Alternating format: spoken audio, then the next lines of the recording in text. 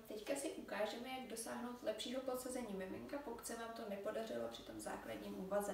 To znamená, dovázali jste šátek a vlastně miminku zůstaly nohy, třeba vyset nějakým způsobem víc dolů nemá, nebo nemá kolínka, alespoň v úrovni zadečku.